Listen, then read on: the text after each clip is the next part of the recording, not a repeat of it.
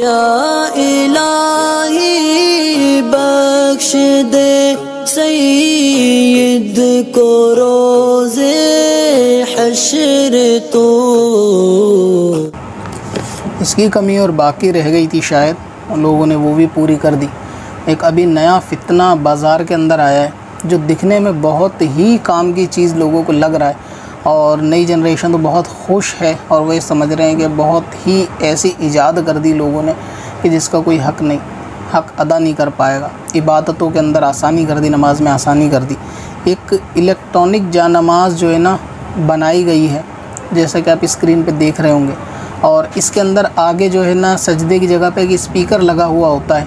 और ये इलेक्ट्रॉनिक जा नमाज़ इतनी ज़्यादा टेक्नोलॉजी से भरपूर है कि इसके अंदर आप सिर्फ़ नमाज़ का सेट करें कि आपको कौन सी नमाज़ पढ़नी है। इसके चारों तरफ़ जो है ना साइड में बटन दिए गए हैं, सर के पास स्पीकर है। और इसमें नमाज़ सेट करेंगे, भाई जोहर पढ़नी है, फ़र्ज़ पढ़ने हैं, जोहर की सुन्नतें पढ़नी है। और इस तरह उसमें हाथ पैरों के निशान हैं आप सिर्फ़ वहाँ पे खड़े हो जाएँ और जा नमाज़ ख़ुद तकबीर बोलेगी, अल्लाह अकबर, आप नियत करें। जा नमाज़ ख़ुद कुरान पढ़ेगी उसमें, कोई भी सूरत, जो भी उसको फ़ीड है उसके अंदर। और आप जब सूरत ख़त्म हो तो वो अल्लाह अकबर चलेगी, आप उसके अंदर रुकू करें, सजदा करें। इस हिसाब से ऐसे शख्स को कि जिनको नमाज़ नहीं आती या जो आती है लेकिन उनको डाउट है कि हमारी नमाज़ सही नहीं है तो वो इस हिसाब से ये ख़रीद के नमाज़ पढ़ सकते हैं। असल में जैसा कि अक्लमंद आदमी तो समझ ही गए होंगे कि इस सूरत, इस तरह से जो है ना नमाज़ नहीं हो सकती कि जब तक बंदा ख़ुद की किरात ना करे, ख़ुद की तकबीर, तहरीमा ना बोले और ख़ुद ब खुद उसमें तहियात वगैरह ना पढ़े तो उसकी नमाज़ नहीं होगी। तो ये प्रोडक्ट जो है ना, वो लोगों को दीन से दूर करने के लिए है, ना कि उनके लिए आसानी के लिए है। आप खुद सोचें कि आपने सब अलार्म वगैरह सेट कर दिए और उसमें बंदा खड़ा हो गया। अब स्पीकर से आवाज़ आई, अल्लाह अकबर, उसने नीयत बाँध ली। कुरान पढ़ना स्पीकर से आवाज़ आ रही है, वहाँ कुरान पढ़ा जा रहा है, आप सिर्फ़ सुन रहे हो। अपना कुरान आप ख़ुद किरात नहीं कर रहे हो, ख़ुद सुर फातिह नहीं पढ़ रहे हो, सिर्फ़ सुन रहे हो। और फिर जब उसने स्पीकर ने बोला, अल्लाह अकबर तो आपने रुको सजदे कर लिए तो इस तरह से नमाज़ नहीं होती। और ये वाकई में अब ये अल्लाह जाने के बनाया किसने? यहूदियों का बनाया हुआ है या नाम निहाद मुसलमानों का बनाया हुआ है? ये असल में ईमान से लोगों को दूर करना, इबादतों को ख़राब करने जैसी चीज़ है। तो इस वीडियो का आप उन लोगों तक के जो इस जा नमाज़, क्योंकि आजकल ये ज़्यादा चल रही है सोशल मीडिया पे तो उन लोगों तक पहुँचा दें, ताकि उनको पता चले कि इस तरह से नमाज़ नहीं होती जब तक आप ख़ुद अपने मुँह से कुरान ना पढ़ें, या अपने खुद ब खुद इसको जो है ना किरात वगैरह ना करें, तकबीर ना करें तो नमाज़ शुरू नहीं होगी। दूसरी बात यह है कि अगर मान लो किसी शख्स ने नमाज़ शुरू करी, अब उसने सूर फातिहा के बाद सूरत जा नमाज़ ने पढ़ी स्पीकर में और वहाँ पे उसकी बैटरी ख़त्म हो गई और किसी की सजदे के अंदर अगर बैटरी ख़त्म हो गई तो वो तो बंदा सजदे से उठ ही नहीं पाएगा तो क्या करेगा?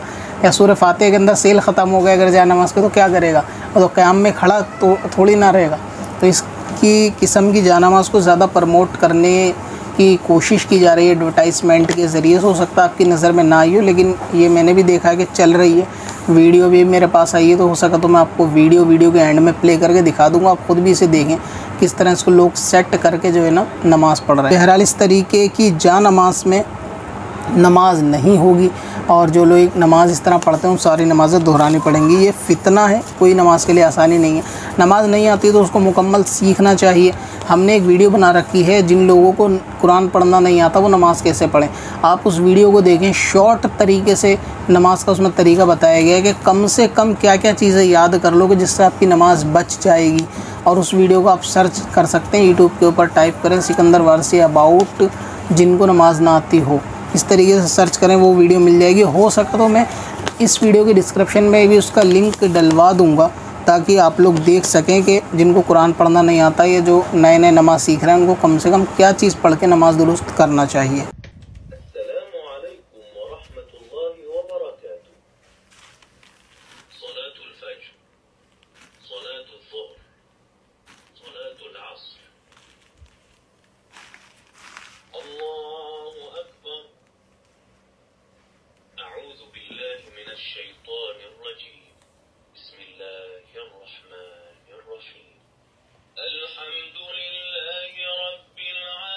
अब अपनी कजा उमरी नमाजों का हिसाब लगाना हुआ और भी आसान। विज़िट करें कजा calculator dot S M S Warsi dot com पर और इस कैलकुलेटर से अपनी तमाम कजा नमाजों का हिसाब मिनटों में करें और डाउनलोड भी करें। कब से अपनी खताओं का शुमारा जाएगा?